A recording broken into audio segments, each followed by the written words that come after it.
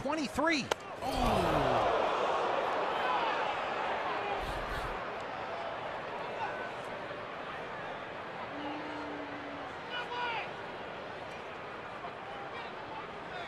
Ken Crenshaw, the Diamondback trainer. Oh, oh no.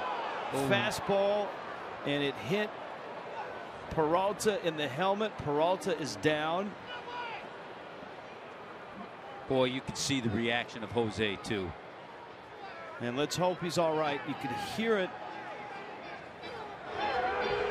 Diamondback dugout is on Vic Carapazza. There's no need for any. There, it's clearly obvious that wasn't intentional. So why somebody would be uh, thrown out for that, it's uh, just crazy.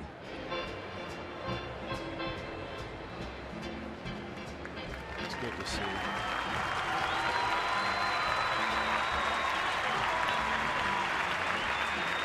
Chip Hale is getting into it with Carapazza behind the plate now about all the barking that was coming from the Diamondback dugout.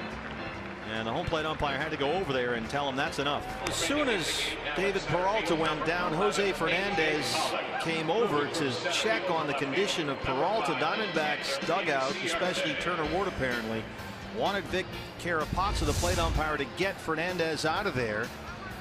And he said, if I want him out, I'll get him out. Don't tell me what to do. And he ejected Turner Ward.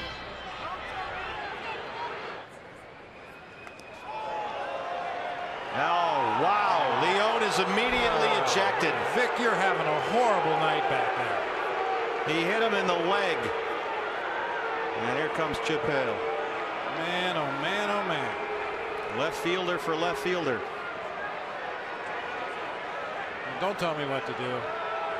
You're doing such a fine job. Why would anybody tell you what to do?